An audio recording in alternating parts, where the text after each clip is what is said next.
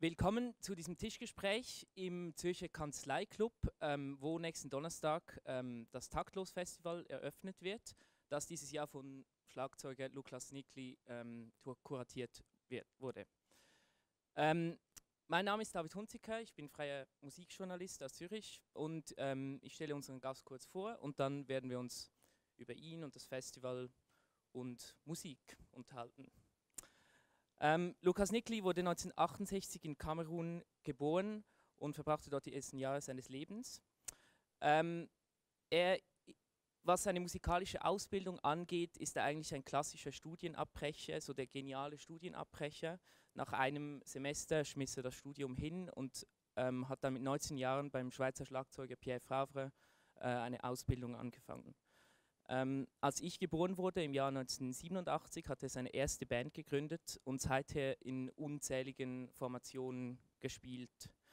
Ähm, mit diesen Formationen ist er um die Welt gereist und hat äh, die wichtigen Festivals im Bereich Jazz und zeitgenössischer Musik äh, bespielt.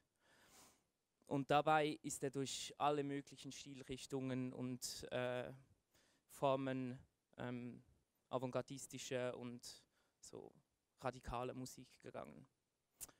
Ähm, 1935 gründete er mit Dominic Blum und Mario äh, Pliakas die Band Steamboat Switzerland, die dieses Jahr ebenfalls am Taktlos Festival spielen wird. Ähm, ja, genau.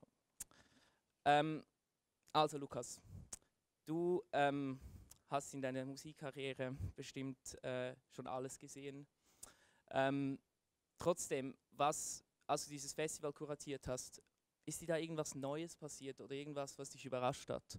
Was so habe ich noch nie gesehen.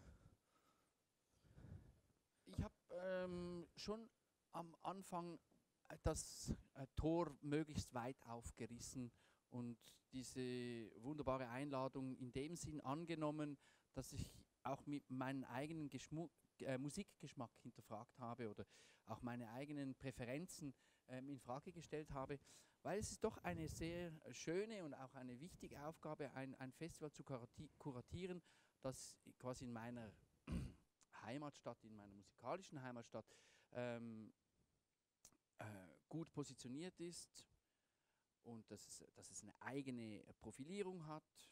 Ähm, und da habe ich äh, versucht, nochmals ganz äh, wirklich die Türe möglichst weit aufzureißen und auch Dinge und Ideen zulassen und Visionen und Träume zuzulassen, die ich vielleicht beim ersten Gedanken nicht gehabt hätte.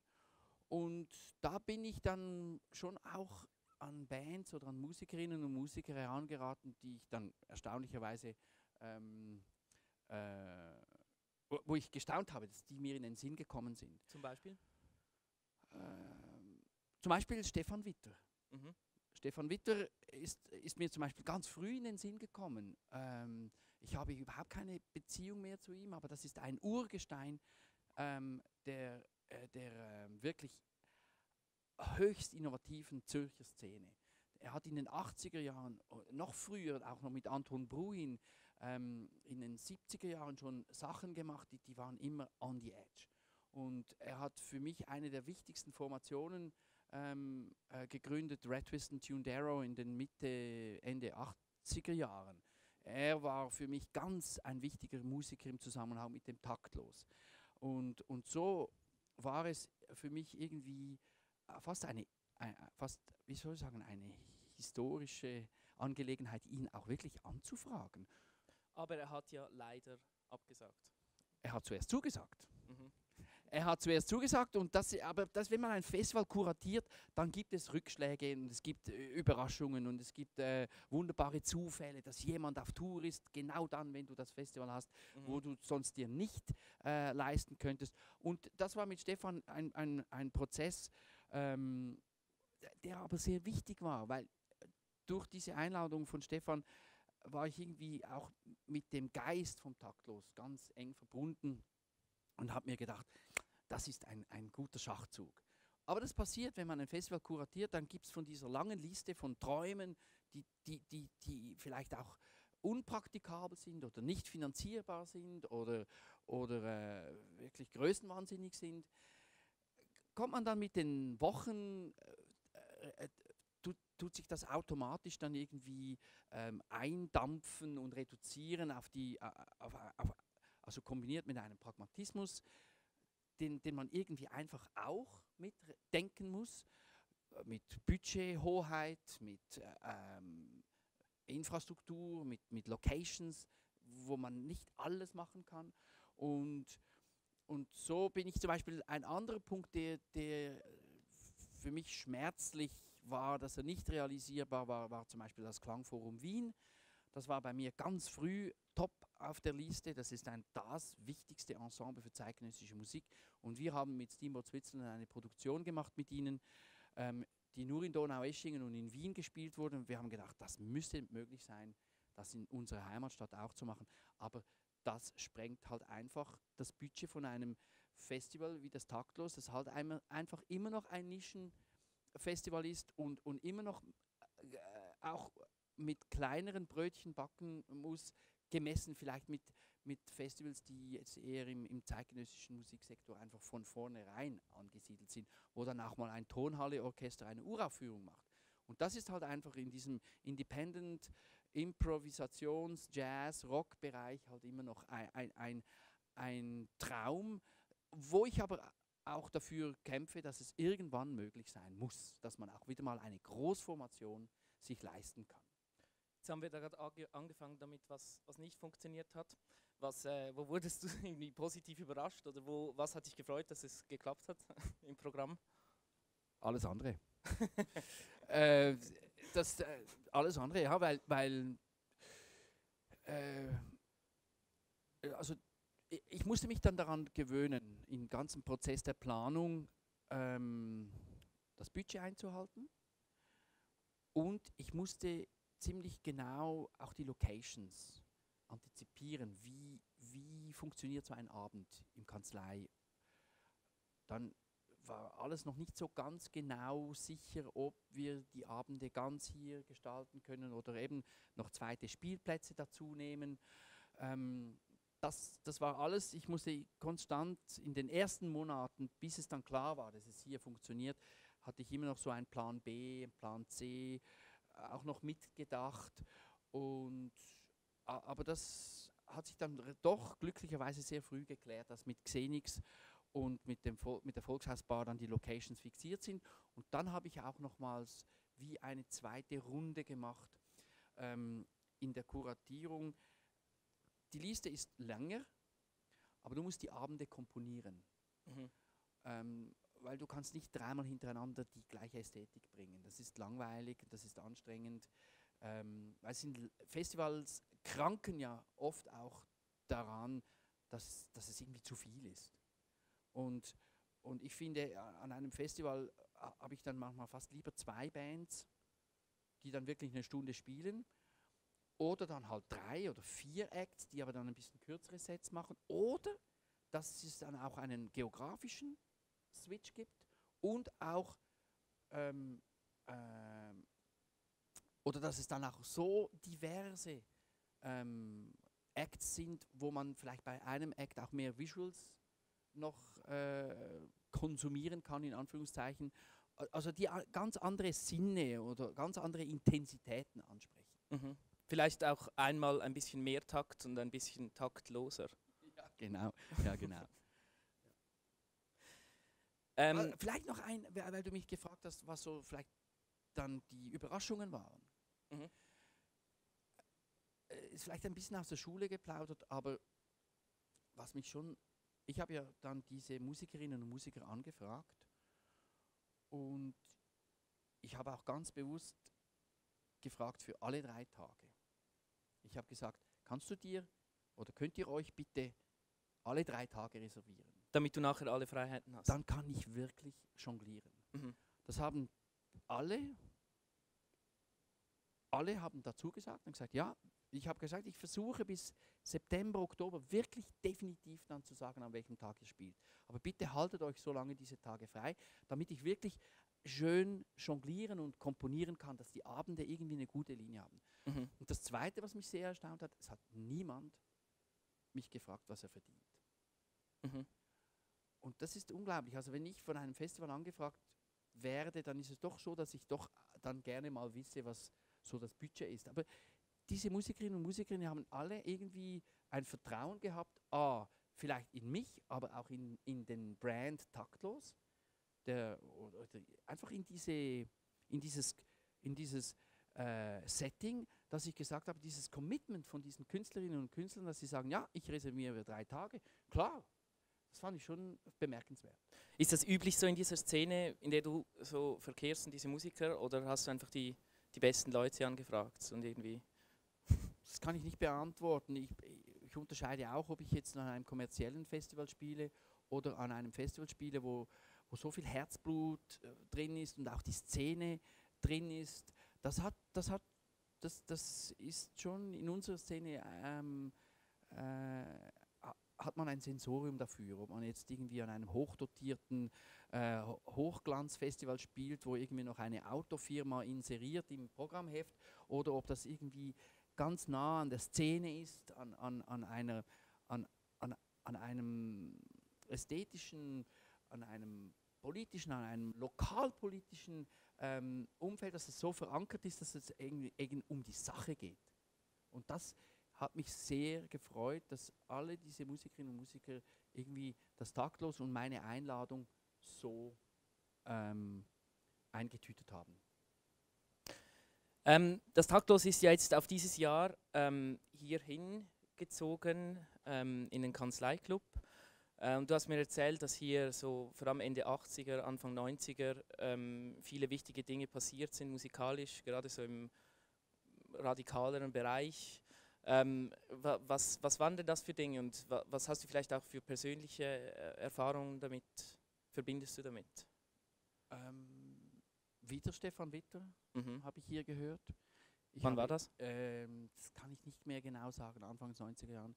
Ich, habe, ich weiß, dass Irene Schweizer den Kunstpreis der Stadt Zürich erhalten hat, Anfangs der 90er Jahre. Ich weiß jetzt auch das Jahr nicht genau. Ähm, und die Preisverleihung war hier drin. Ähm, das war schon ein, ein, ein ganz, ein, ein, ein, klar war das taktlos schon immer in der Roten Fabrik und ich bin öfters in die Rote Fabrik gegangen und ich bin öfters äh, ins Drahtschmiedel gegangen und in die Tonhalle ähm, und in die WIM Zürich, aber das Kanzlei war, war doch auch ein wichtiger Spielort. Ähm, so als Kriterien, ähm, was, was für Bands du für Bands, die du buchst oder hier in diesem Programm aufgenommen hast, äh, hast du gesagt, was dir wichtig sind, sind, dass du Working Bands hast und äh, gutes Handwerk. Dass das, das, hast du gesagt, sind zwei wichtige Kriterien. Was, wieso, wieso sind die so wichtig? Ja, das, das habe ich irgendwann mal gesagt und auch in meinem äh, ähm, äh, editorial geschrieben und wenn man das Programm genau anschaut, dann gibt es zwei, drei Ausnahmen. Also ähm, es gibt ja auch einige wirklich richtige Experimente. Also das Trio mit Alexander Hawkins und Ro Matana Roberts ist, ist für mich ein totales Experiment. Aber das ist auf der einen Seite von dem Spektrum, wo ich mich selber drin bewege. Also einerseits Working Bands mit Steamboat Switzerland, wo wir seit 23 Jahren arbeiten und regelmäßig arbeiten und proben und dann Dinge, die einfach so auch ephemer sind und ephemer sein sollen. Ähm, so dieses Spektrum, das, das ist mir wichtig.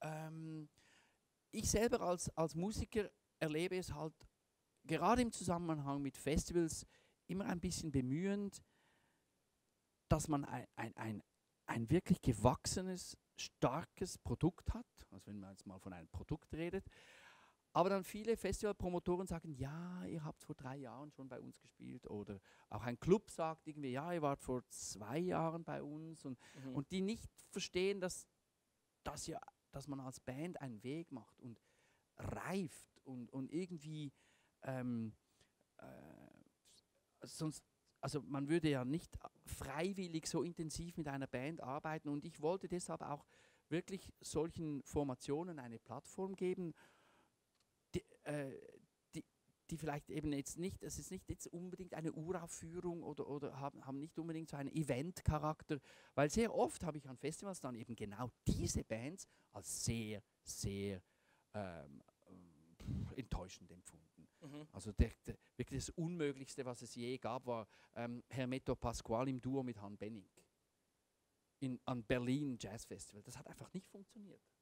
Was aber so vom Originalitätsgrad her ähm, eine gute Programmierung Gute war. Idee, das, Oder die große müssen. Affische, eine Sensation, aber musikalisch einfach n- inkompatibel. Mhm. Oder? Also das, das, ich finde dann, da möchte ich dann als Musiker die Verantwortung übernehmen und sagen, dieses, ich gehe andere Risiken ein. Ich gehe, ich, ne, ich gehe lieber das Risiko ein von einer unbekannten Band, äh, die vielleicht äh, ähm, eine, eine wirklich vielleicht auch vielleicht zu große Plattform kriegt für, für ein, ein, ein, äh, ein erstmaliges Auftreten in einem größeren Kontext. Aber äh, give them a chance, oder?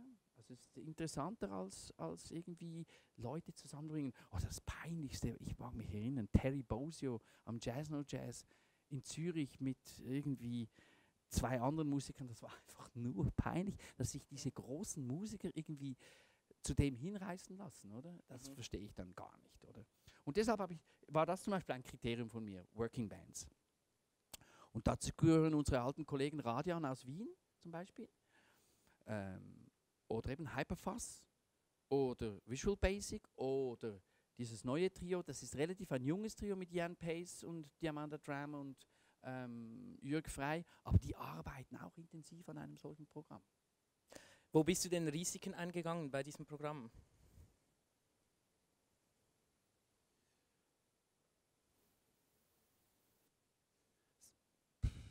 Kann ich dir am Sonntag sagen.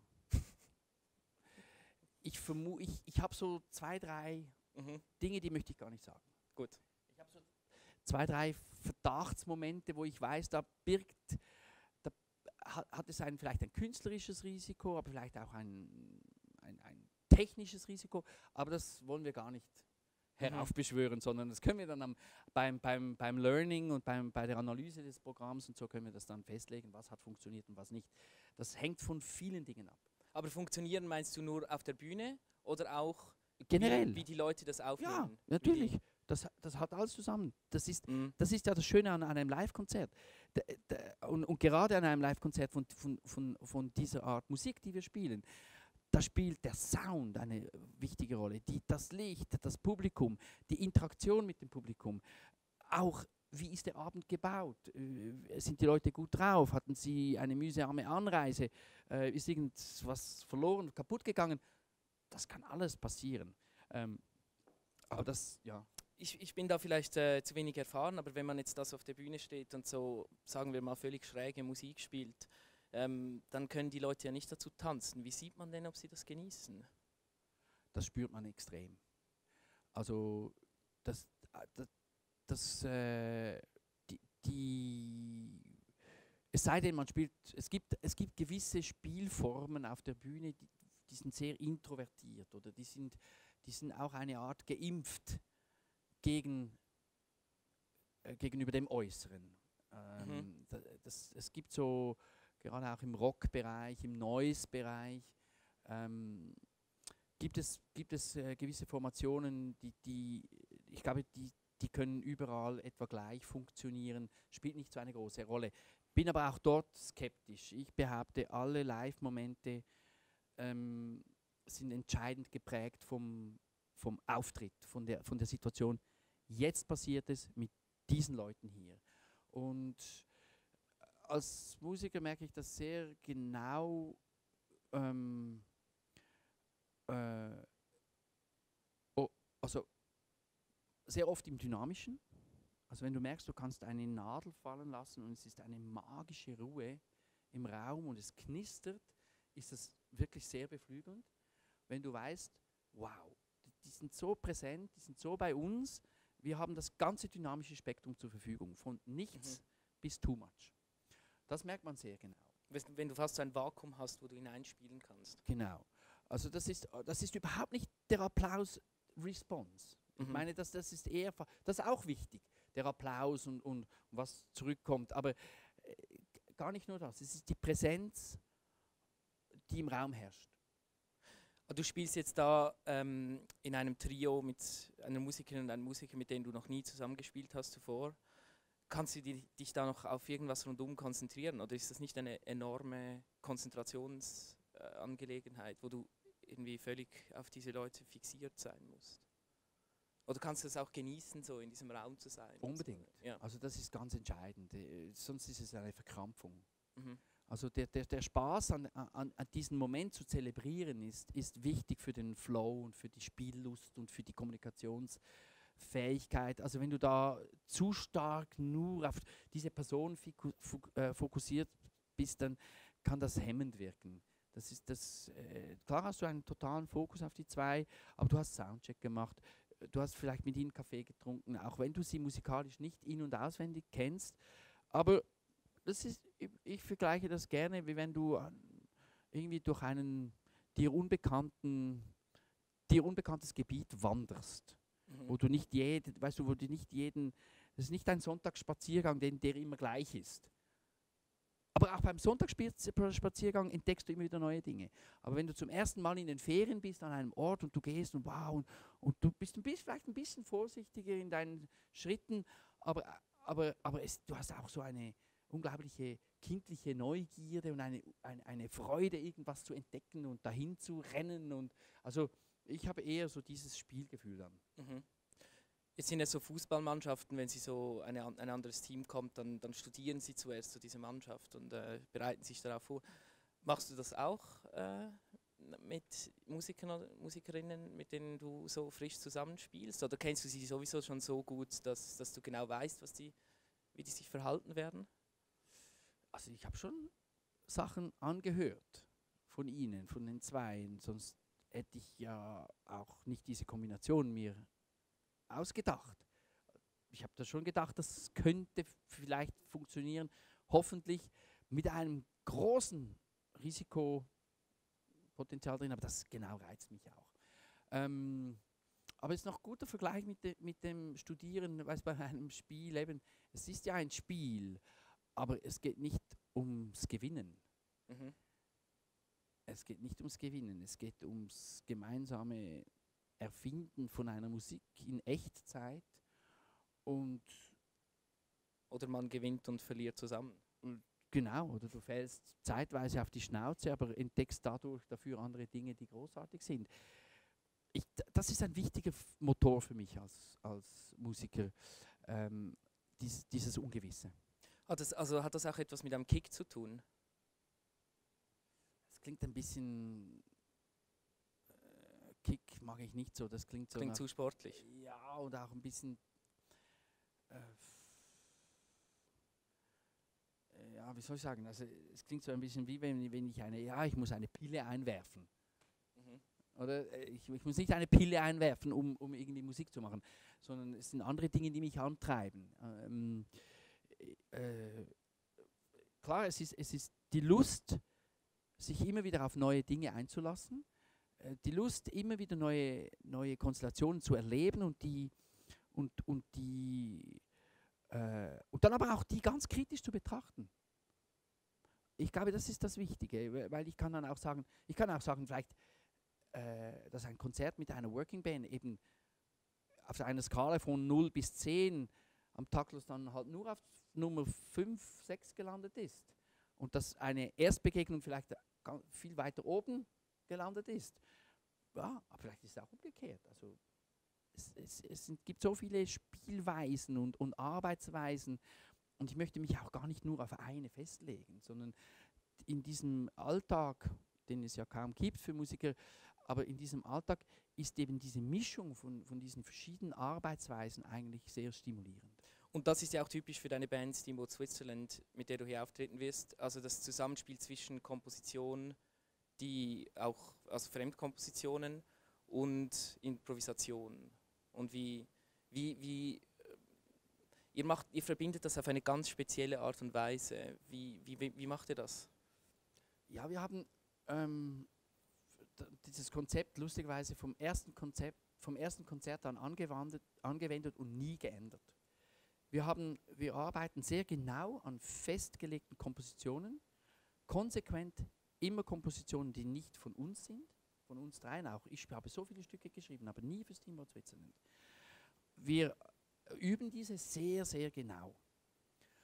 Und dann haben wir eine, eine, eine, eine ähm, Selection du jour auf dem Notenständer und sagen, diese zehn Stücke oder äh, diese drei großen Stücke und diese fünf kürzeren Stücke und diese zwei Fragmente sind, haben wir auf dem Pult und alle haben Handzeichen oder akustische Cues. Und dann legen wir los mit einer Improvisation und dann hat jeder von uns die Möglichkeit, Stücke anzuziehen. Mit einem Riff, mit einer, es braucht manchmal nur einen Ton und schon wissen wir, welches Stück er meint. Oder ein Handzeichen und dann wissen wir, welches Stück wir meinen. Und dann, und durch das können wir wirklich changieren zwischen ähm, ganz freien Passagen und, und streng komponierten Passagen. Und jedes Konzert hat eine andere Form. Und das, das finde ich irgendwie total ein, ein gutes System, dass wir zwar wissen, wir haben den Rucksack gepackt mit ganz viel Material, aber das, was wir brauchen, das ist dann taktlos.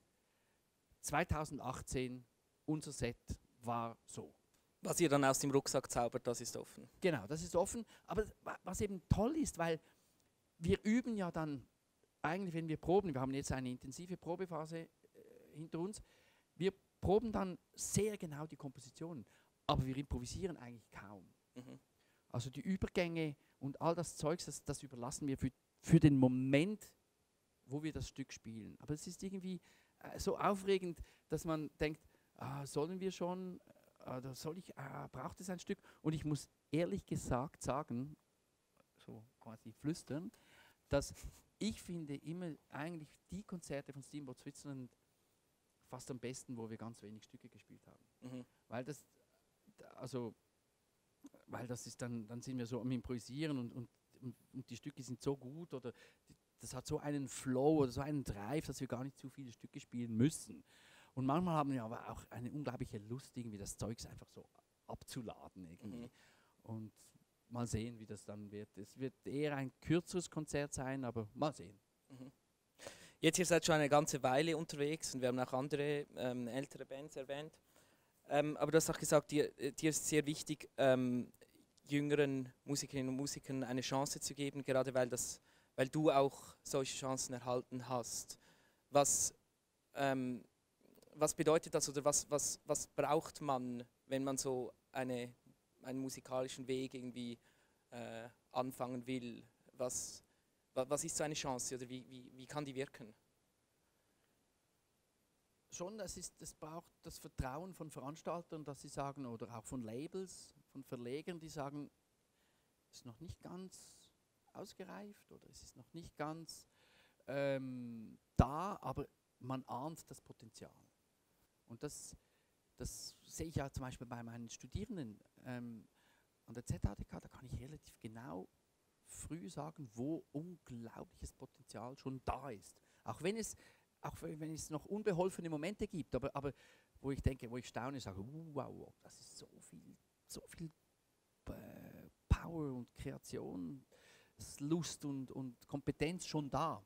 Mhm. Und also das Vertrauen, einfach zu sagen, doch, hey, da, ihr habt eine carte blanche und so viele junge Musikerinnen und Musiker habe ich gar nicht im Programm. Also ich hätte vielleicht da und dort selbstkritisch vielleicht noch, noch mehr auf diese äh, Karte bauen können, aber für mich zum Beispiel schon Diamanda Drum ist wirklich sehr jung. Aber das ist eine, das ist eine wahnsinnige Musikerin. Also äh, wenn die so weitermacht, dann das, das, das wird eine ganz große Künstlerin und die hat, sie hat noch so eine Wildheit und, und, und ist auch, hat ein sehr, sehr gutes Selbstvertrauen. Und, und, äh, aber ich finde, go for it, oder? Also da, da das finde ich ganz toll. Und, und Ensemble of Nomads auch. Das sind die anderen, wo ich denke, die sind sehr ähm, noch am Anfang von einem Weg. Aber es ist so erfrischend, mit, mit, mit ihnen zu sowohl mit Diamanda wie auch mit den Musikerinnen und Musikern von Ensemble of Nomads zusammen zu sein und mit ihnen zu reden, weil sie sind nicht pragmatisch. Sie sind nicht, sie, was mich stört in der heutigen jungen Szene, ist, dass sie sehr oft einfach zu früh irgendwie ihre Träume begraben. Äh, als ich 20 war, war ich wirklich manchmal ein bisschen größenwahnsinnig. Aber das war irgendwie auch wichtig, um, um um gewisse Hürden zu überschreiten. mhm. um, um auch gewisse, ähm, äh, wie soll ich sagen, auch, auch Dinge, die eigentlich weit weg waren, dann irgendwie versuchen, in die Nähe zu kommen. Da, da braucht es ja, es gibt dieses schöne Bild von Tarkovsky, der sagt, du hast eine Schraube und eine Mutter. Und du schmeißt die, die, die Schraube weg. Und du musst sie suchen, und dann, damit sie wieder zur Mutter passt. Oder du schmeißt einen Hut auf die andere Seite vom Fluss und du musst überlegen, wie komme ich darüber, oder? Und manchmal sind solche Aktionen irgendwie wichtig. Und das war so erfrischend bei, die, bei denen hier, bei diesen jungen Musikerinnen und Musikern, dass, sie, dass du denkst, alright, das, das nehme ich jetzt mal Wunder, wie er da. Aber das ist schön zu sehen, irgendwie diese, diese Lust, dieses volle Risiko, auch eben nicht sofort einen Pragmatismus walten zu lassen. Kann man sich da als gereifter Musiker auch manchmal wieder etwas abschauen, wenn man vielleicht ein bisschen zu pragmatisch geworden ist? Ja, definitiv, mhm. definitiv, weil es ist ohne dieses Risiko einzugehen, ohne, ohne die auch eben, das, habe ich ja versucht, bei, auch als, als ich diese wunderbare Einladung erhalten habe, das Taktlos zu kuratieren, habe ich eben auch versucht, meine eigenen Präferenzen oder so, das Eingespielte wirklich auch nochmals zu hinterfragen. Oder? Ähm, du hast auch mal noch gesagt, dass, ähm, dass dir Dringlichkeit etwas sehr Wichtiges ist. Ist das etwas, was äh, vor allem außerhalb der Musik ist, vielleicht etwas Politisches oder so? Oder, oder äh, kann man das auch ganz musikalisch verstehen? Also irgendwie ähm, so, die, die wollen irgendwas Neues kreieren oder die wollen irgendwie einen bestimmten Sound erreichen oder sowas? Ich, ich, ich habe nicht gern Leute, die mir sagen, was ich denken muss. Oder äh, ich, habe auch, ich mag nicht einen Pfarrer, der mir sagt, an was ich glauben muss. Das ist, und äh, ich habe lieber, ich bin lieber konfrontiert mit, mit einer vielleicht auch abstrakten Message, mit einem abstrakten Sound, Gemälde, Text, der mir ganz viel Freiheiten lässt, mir etwas dazu zu denken. Und, und berührt bin ich dann, wenn ich merke, da, da macht jemand etwas eben mit dieser Dringlichkeit. Aber er befiehlt mir nicht, was ich damit empfinden muss. Äh, ich weiß nicht, ob, ob das verständlich ist. Ja, so ein bisschen vielleicht. Also, oder kannst du vielleicht ein Beispiel machen, wo, das so, wo du so etwas erlebt hast? Ja, das kann man so, in der Religion sehen oder man kann es. Man kann in der Musik. In der Mu ja, also wenn, weißt du, wenn äh, eben, also ich, ich mag es, wenn, wenn, wenn, wenn, geheim, wenn es irgendwie Geheimnisse hat aber, aber die, die Kunst irgendwie so ein Feuer hat und so ein, eine Kraft und, und, und, und eine Projektion, wo aber ich glaube, du etwas anderes erleben kannst wie ich. Mhm. Das, das, das, das, das meine ich mit Dringlichkeit. Es, es berührt dich und es berührt mich, aber es befiehlt uns nicht, was wir, was wir empfinden müssen. Also heißt das auch Musik, die einen mit etwas konfrontiert, wo man vielleicht Unbedingt. nicht genau weiß, wieso das... Auch Ablehnung. Mhm. Auch Ablehnung. Das, ich meine gar nicht nur, äh, auch Ablehnung.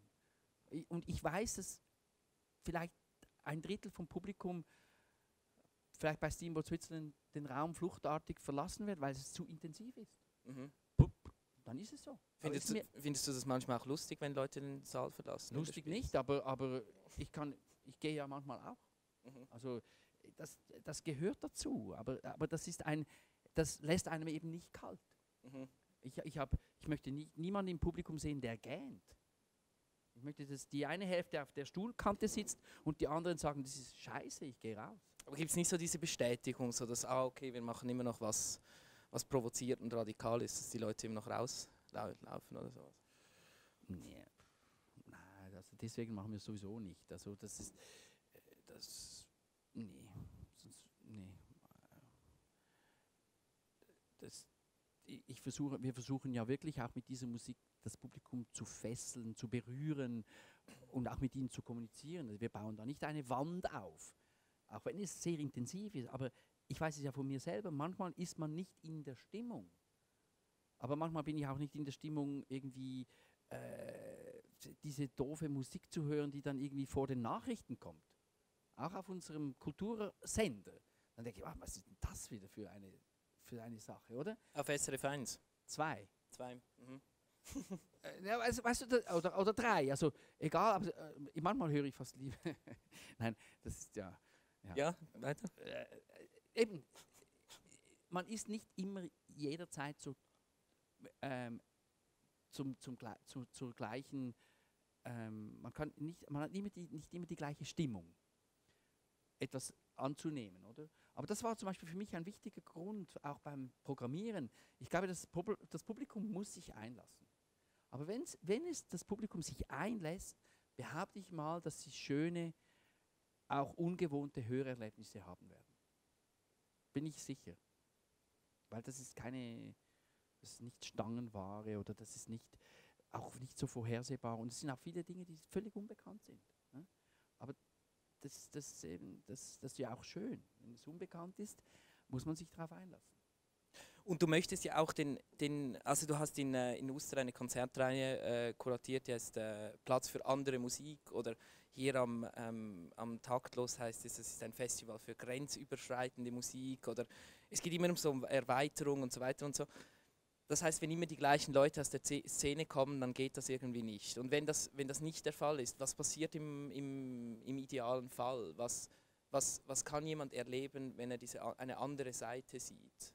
Oder was, was, was möchtest du im Idealfall zeigen mit Musik, die du kuratierst oder selber machst? Das ist dann vielleicht wieder das Politische daran. Ne? Es ist eine Offenheit. Ist, eine, ist eine, eine wirkliche Offenheit dem Fremden gegenüber. Wo ich nicht sofort sage, das kenne ich nicht, ja, was ist denn, äh, so, sondern auch, auch nicht sofort urteile, sondern vielleicht sage, okay, ich verstehe es nicht, aber es hat eine Faszination. Und deshalb, dann kommt die Dringlichkeit wieder ins Spiel. Ähm, es hat eine Faszination, ich verstehe es nicht, es ist für mich neu, aber es berührt mich. Okay, ich muss das überprüfen. Und, und so habe ich ganz viele neue Leute und Szenen selber ja auch kennengelernt, die dann für mein eigenes Spiel auch wirklich inspirierend sind. Und, äh, und als Kulturkonsument bin ich bin ich auch nicht immer gleich bereit, mich auf diese Dinge einzulassen. Aber ich merke es, wenn ich an diesen Festivals spiele, äh, höre ich ja viel andere Musik, die ich nicht kenne. Und, und, und, und ich bin immer so berührt, wenn ich, wenn ich irgendwie e etwas höre, wo ich denke, ah, das ist jetzt irgendwie anders oder das ist, was steckt da drin? Und, und, und ich dann wirklich mich darauf einlassen kann und, und, und, äh, so hin und her changiere zwischen, soll ich schon urteilen? Sind das jetzt, ist das jetzt vielleicht ein Vorurteil? Oder urteilst du jetzt nicht ein bisschen sehr ähm, snobby irgendwie? Oder, oder redest du jetzt irgendeinem Kollegen nach, der über diese Band irgendwas so und so gesagt hat? Das, ich finde das eine wichtige, wichtige Auseinandersetzung. Dann hoffen wir auf diese Auseinandersetzung. Ich glaube, wir sind äh, uns ah, ja. ist die Zeit ja, abgelaufen. Ja, vielen Dank fürs Gespräch. Danke dir, David. Für und ähm, fürs Kuratieren dieses Festivals. Ja. Ja. Oh nein, danke. Wir freuen uns. Ja. Danke.